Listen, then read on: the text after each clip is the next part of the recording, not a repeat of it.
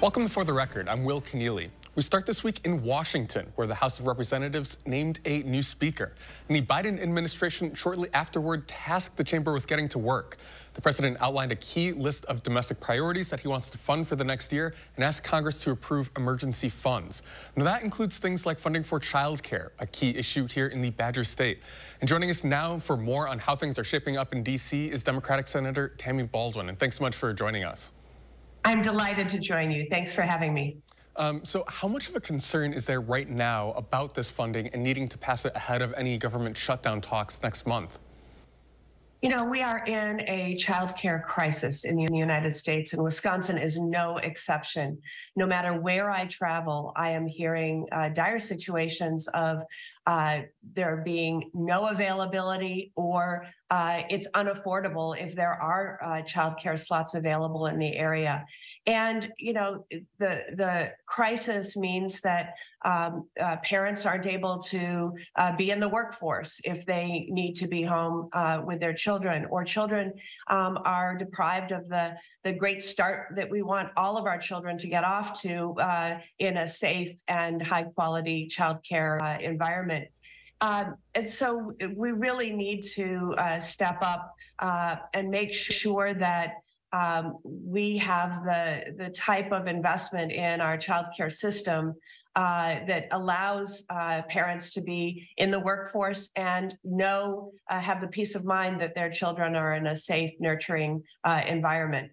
So in Wisconsin, child care providers have largely relied on this pandemic era grant. Uh, right. Understanding that it would be extended for about an extra year here, is that going to be enough for these providers? That's why we have to pass this emergency uh, uh, spending uh, domestic supplemental um, because it won't be enough. Uh, right now, we are seeing uh, child care centers close. We are seeing uh, teachers leave the profession because they're so underpaid.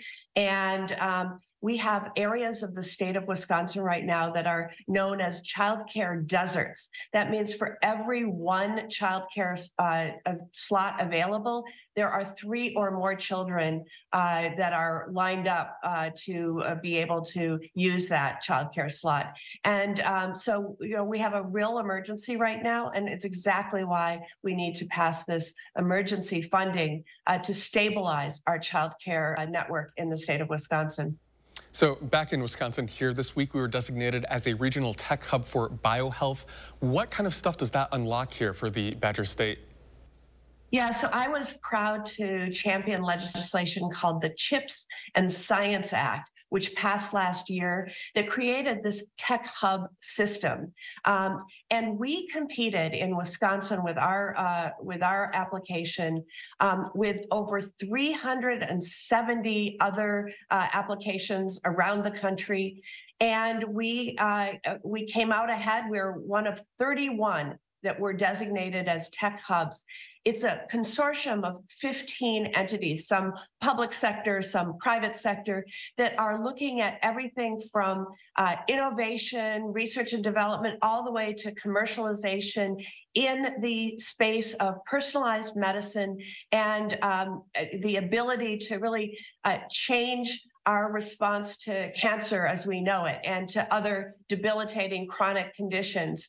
Um, and I'm so excited about all the partners that have come together. We should be proud of these amazing assets of world class research institutions, um, innovative uh, and pioneering biotech companies, as well as our ability to manufacture and make things in Wisconsin and do so in a highly efficient and automated way.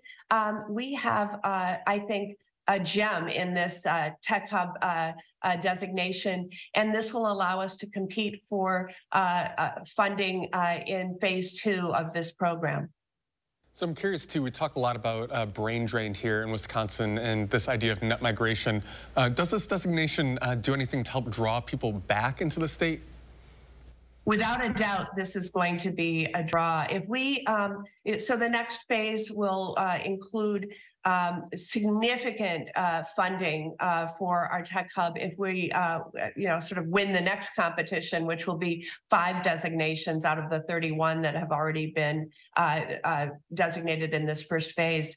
And, um, you know, this would not only be, uh, we would not only be an exciting place where this innovation and commercialization is going on, but people want to be a part of uh, breakthroughs in um, in health and personalized medicine and biotechnology. Uh, so I think that um, uh, we would be a place that's attracting uh, the best and brightest because of this um, designation, as well as again, each of the uh, consortium members are um, uh, are, are innovative uh, uh, companies uh, or universities already. And we know that you've been pushing for this for a very long time here. Senator Baldwin, thanks so much for joining us. Really appreciate it. Thank you.